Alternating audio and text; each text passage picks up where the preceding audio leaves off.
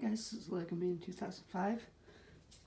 And as promised, here's my review of the Transformers animated Blitzwing. So uh, this is the tank mode. Very nice. Uh, it rolls, has rolling wheels. Does that. The turret move. And it has spring-loaded features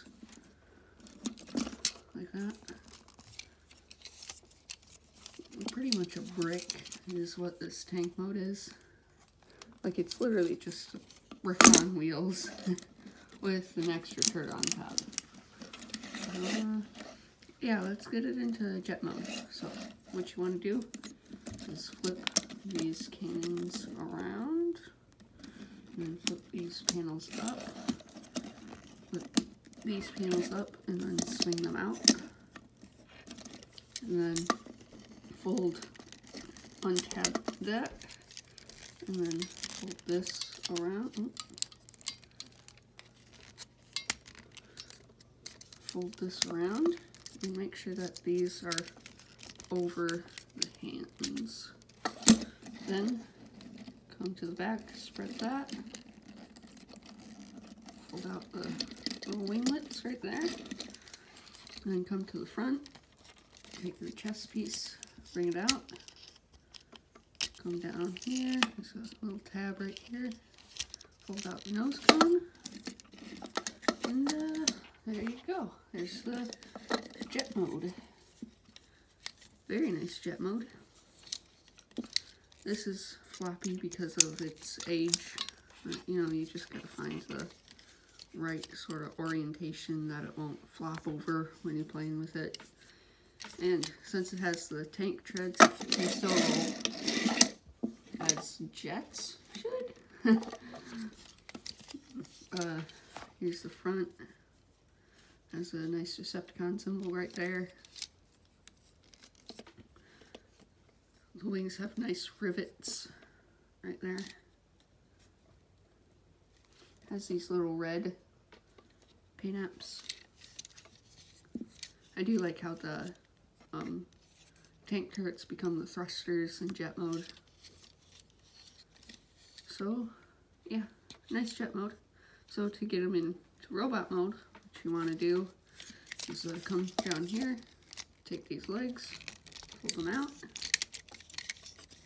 come down here, open up this panel, pull out the heel spur, and then just on this, pull the foot out, put, this panel back down, same on the other side, pull this out, take that out, hinge that forward, bring the panel down.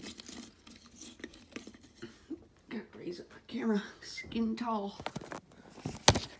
There. Straighten them out, come to the back side, fold these back down, position these little panels. So they're like that. Fold this, fold the turrets back into the tank config configuration, well, I can't word, um, and then spin it around. And then come to back here, untab this, untab the arms, pull those out, straighten them out, and, uh, lift this up, and I just like to fold these in and do it like that. And on the other side, just fold them in. And then come to the head, bring the nose cone in, fold that down, turn the head around, and then close up the back. And there you go. There's the animated Blitzwing in his robot mode. He's a nice figure. Really nice figure.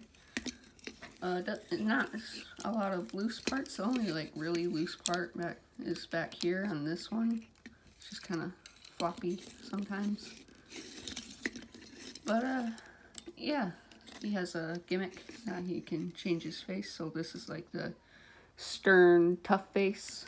You flip it over, and he's got the random crazy face.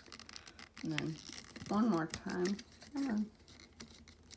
Flip it over one more time, and he's got his cold, calculating, uh, I guess, stern face again. um, and yeah, so that's his gimmick. And for articulation, the shoulders go out that far. He has a double bend. The swivel right here. The legs go kick that forward, that far, and go back that far, I guess. And then the knee can bend, and the toe can, the foot can tilt. And that's it for the articulation. For closer up details, it's got these nice little, I guess, rivets, I don't know. Uh, he's got a belt around